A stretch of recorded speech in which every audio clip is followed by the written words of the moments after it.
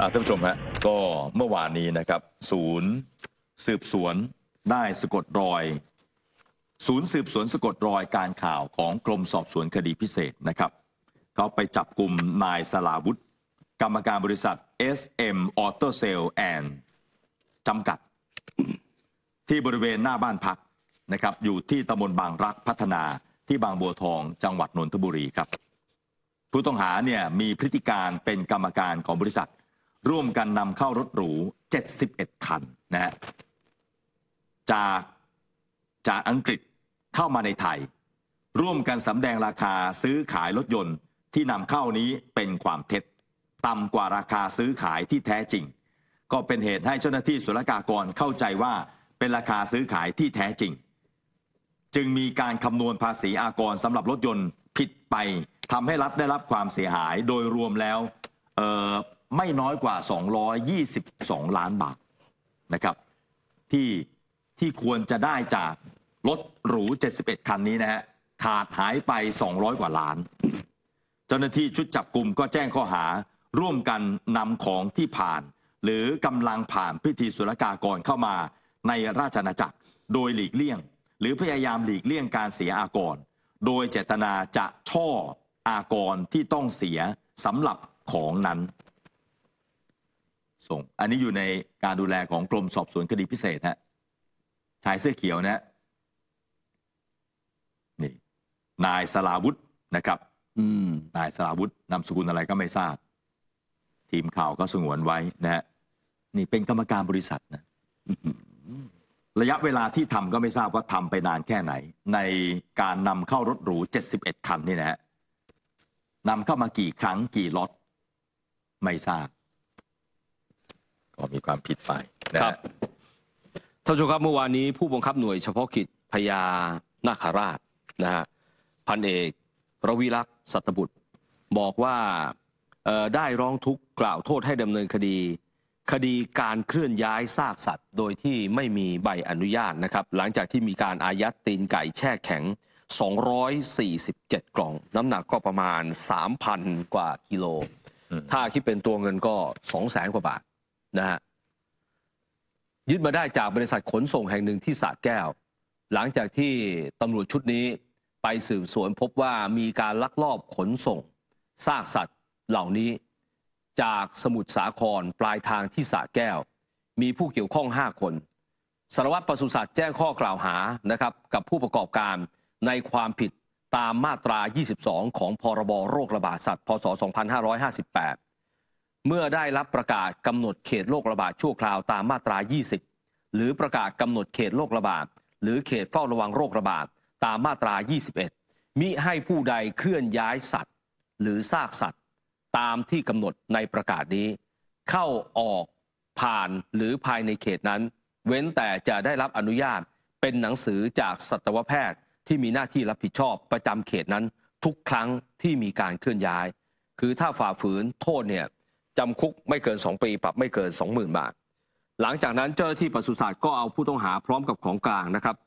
ส่งมอบแล้วก็ร้องทุกข์กล่าวโทษกับพนักงานสอบสวน พื้นที่ของสพคลองลึกที่สระแก้วนะครับ ให้ดำเนินคดีนี่นะฮะซึ่งของกลางเหล่านี้นอกจากจะไม่มีการระบุแหล่งที่มาอย่างชัดเจนแล้ว อาจจะมีการปนเปื้อนของเชื้อโรคระบาดสัตว์ ซึ่งถ้าเป็นแบบนั้นเนี่ยมันก็จะส่งผลกระทบต่อเกษตรกรต่อไป นี่นะฮะแล้วก็รวมถึงความปลอดภัยด้านอาหารของผู้บริโภคด้วย ฉะนั้นเขาก็เลยพอสืบทราบมาแบบนี้ก็เลยต้องมีการตรวจแล้วก็ยึดนะครับนี่นะฮะแล้วก็ยังกำชับมาด้วยนะครับว่า ขอให้ผู้บริโภคเลือกซื้อสินค้าจากสถานสถานประกอบการ ที่มีความสะอาด แล้วก็ผ่านการรับรองมาตรฐานจากกรมปศุสัตว์นี่นะฮะจับมาได้โอ้โหสามพันกว่ากิโล แต่สามพันโลมันก็ไม่เยอะคิดเป็นตัวเงินมันก็ไม่เยอะมากสองแสนกว่าบาทเพราะว่ามันเป็นประเภทตีนไก่แบบเนี้ย เออ นี่นะฮะแช่แข็งมานะครับสองร้อยสี่สิบเจ็ดกล่อง นี่ เยอะเลยนะฮะดูจากจำนวนเงินอาจจะไม่เยอะมาก แต่ดูจากจำนวนของโอ้โหสามพันกว่าโลท่านผู้ชมคิดดูแล้วกันอืม ตีนไก่เนี่ยอย่างลักลอบเลย ยังลักลอบเลย ตีนไก่เออ ซุปตีนไก่ไหมที่เขาชอบกินกันนะเออ ดูสิโอ้โหเป็นแสนเหมือนกันนะเกือบสามแสนเนี่ยใช่เห็นไหมฮะสามแสนอะท่านผู้ชมฮะเอ่อเช้าวันนี้ก็มีข่าวเศร้านะฮะก็เราได้สูญเสียเอ่อนักร้อง ศิลปินแห่งชาตินะครับ ทุกคนก็ต้องรู้จักคุณชลินนันทนาครนะครับ นักร้องนักแสดงผู้กำกับผู้ในการสร้างภาพยนตร์ ศิลปินแห่งชาติ สาขาศิลปะการแสดง เพลงไทยสากล ขับร้อง ประจำปี 2541 นะครับ เป็นสามีของนางเอกยอดนิยมของไทย เพชรราชวราช นะครับ เป็นผู้ริเริ่มร่วมสร้างสรรค์เพลงสดุดีมหาราชาทำให้ได้รับรางวัล กิตติคุณสัมพันธ์ สังเงิน สาขาใช้ศิลสร้างสรรค์ ให้เกิดความรักชาติ และสถาบันพระมหากษัตริย์ ได้รับการยกย่องว่าเป็นผู้ที่ขับร้องเพลงไทยสากลผสมผสานกับเพลงไทยเดิม มีท่วงทำนองสูงต่ำเอื้อนด้วยน้ำเสียงที่มีเสน่ห์ชวนฟัง ออกเสียงอักขระได้ชัดเจน มีผลงานบันทึกเสียงนะประมาณ 1,500 เพลง ผลงานของคุณชลินนันทนาครที่สร้างชื่อเสียงเป็นที่นิยมสูงสุด ได้แก่เพลง เรือนแพรมนรักดอกคำใต้ หยาเพชร อาลัยรักท่าเทวี เด็ดดอกรัก ผู้ชนะสิบทิศนกเขาคู่รัก ที่รัก แสนแสบ ท่าฉลอม สักขีแม่ปิง ทุยจ๋าทุย เพราะขอบฟ้ากั้น และปัญญาณใหญ่ คือยังมีอีกมากอีกมากมายพันห้าร้อยเพลงอะท่านผู้ชมคิดดูนะฮะได้รับรางวัลพระราชทานแผ่นเสียงทองคำจากเพลงอาลัยรัก ก่อนจะผันไปเป็นผู้กำกับ และผู้อำนวยการสร้างภาพยนตร์เมื่อปี 2508 มีผลงานในฐานะผู้ผลิตภาพยนตร์ทั้งหมด 19 เรื่อง อย่างเช่น รักข้ามคลอง อันนี้ทำรายได้สูงสุด และภาพยนตร์แผ่นดินแม่ ซึ่งถือเป็นภาพยนตร์เรื่องแรกของประเทศไทยที่สร้างในระบบ 70 มม จอใหญ่ตอนนั้นนะแผ่นดินแม่ แต่หลังจากนั้นก็เลิกทำหนังนะฮะเพราะว่าวงการหนังนั้นเปลี่ยนไป แล้วก็คุณชลินก็เกิดเบื่อหน่ายด้วย ได้รับพระราชทานนามสกุลจากพระบาทสมเด็จ พระบรมชนากาธิเบศร นันทนาคร ซึ่งมีความหมายว่า ผู้ให้ความรื่นรมแก่ชาวเมือง กลางดึกที่ผ่านมานะครับ นับเป็นวันนี้นะฮะท่านผู้ชมฮะนับเป็นวันที่ 20 สิงหาคม 2567 เวลาตีสอง23นาที คุณชรินนันทนาครได้จากไปอย่างสงบด้วยโรคไวชราที่โรงพยาบาลตำรวจสิริอายุของท่าน 91 ปีครับ นี่ครับ นี่ชถือลินว่านันทนาครเป็นการสูญเสียปูชนียบุคคลเลยนะใช่ฮะโอ้โหคนนี้นี่ ยิ่งใหญ่มาก ยิ่งใหญ่สมกับคำว่าเป็นศิลปินที่สุดอืมแล้วก็ท่านก็ได้ร้องเพลงมา จนแม้กระทั่งท่านอายุเอ่อเจ็ดสิบเจ็ดสิบกว่าก็ยังร้องเพลงนะครับ ก็ยังร้องเพลง และมีวิธีการดูแลสุขภาพดีมากอืมนะฮะเสียงไม่เคยตก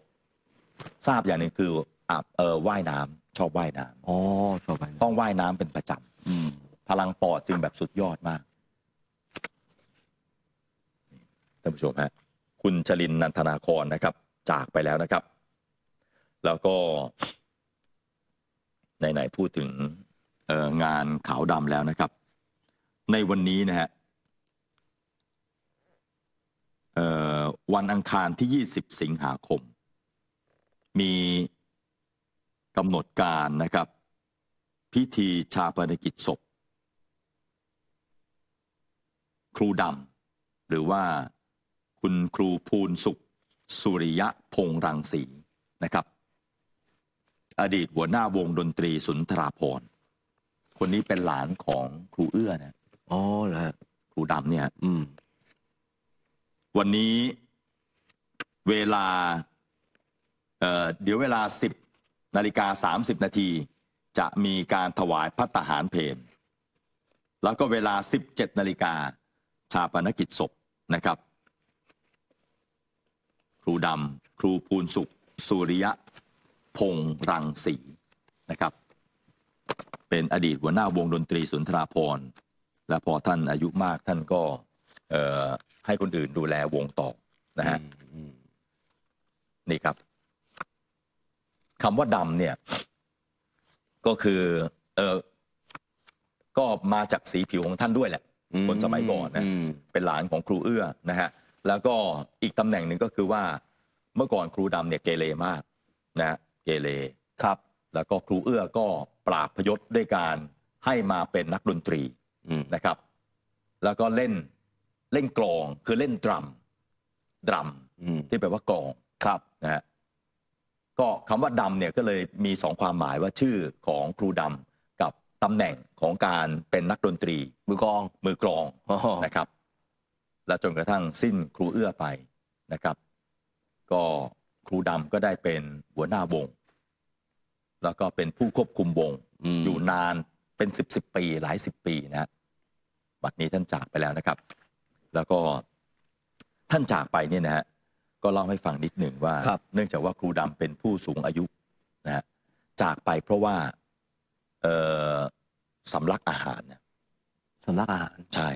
เนอะจนส่งโรงพยาบาล แล้วก็ไม่ฟื้นเลย อ๋อเพราะถ้าอายุมาก ใช่ คนอายุมากสำลักอาหาร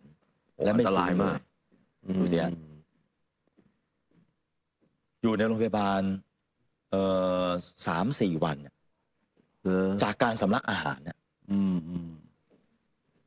นี่ท่านผู้ชมฮะก็เลยมีสองข่าวเศร้านะครับ ในเช้าวันนี้นะฮะยี่สิบสิงหาคม วันนี้ที่ออกลืมบอกไปที่วัดมกุฎกษัตริยารามแหมครับ วันนี้ลูกศิษย์ลูกหาของครูดำก็จะไปร่วมส่งท่านนะฮะเป็นครั้งสุดท้ายนะครับ ที่วัดมกุฎกษัตริยารามนะครับท่านผู้ชมฮะก็ข อแสดงความเสียใจใช่ครับ ทั้งสองครอบครัวใช่ทั้งสองท่านเลยนะทีนี้สำหรับคุณชลินเนี่ยก็นึกถึงคุณเพชรลาสิคุณเพชรลาชาวราชเนี่ยสิใช่ไหมเพอท่านก็ตาบอดอะแล้วจะทำยังไงฮะใช่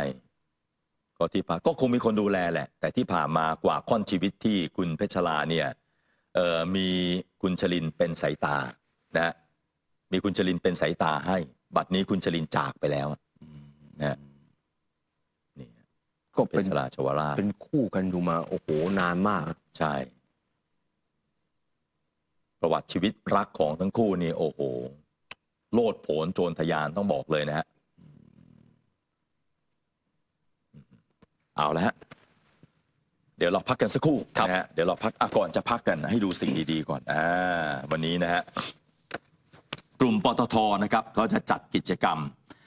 Together for Thai Olympic Heroes นะฮะก็รวมพลังกลุ่มปตท เสริมศักยภาพกีฬาไทยสู่สากล เพื่อแสดงความยินดีกับนักกีฬาเหรียญรางวัลโอลิมปิกปารีส 2024 นะครับ พร้อมกับมอบเงินสนับสนุนเป็นขวัญกำลังใจให้นะครับ งานจะจัดขึ้นที่ปตทสำนักงานใหญ่กรุงเทพเลยฮะ อันนี้เป็นเป็น